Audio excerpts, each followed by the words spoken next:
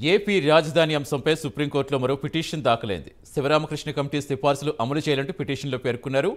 ప్రకాశం జిల్లాకు చెందిన మస్తాన్ వలి అనే వ్యక్తి సుప్రీంకోర్టులో పిటిషన్ వేశారు. ఇప్పటికే అమరావతి రాజధాని అంశంపై హైకోర్టు తీర్పుపై ఏపీ సర్కార్ రైతులు సుప్రీంను ఆశ్రయించారు.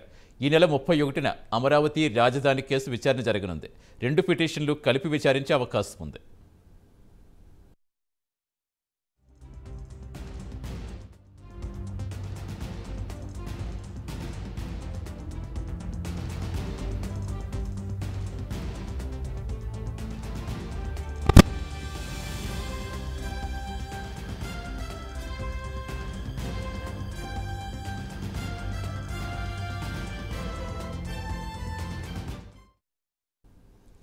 ఏపీ రాజధాని అంశంపై సుప్రీంకోర్టులో మరో పిటిషన్ దాఖలైంది. శివరామకృష్ణ కమిటీ సిఫార్సులు అమలు చేయాలంటూ పిటిషన్లో పేర్కొన్నారు.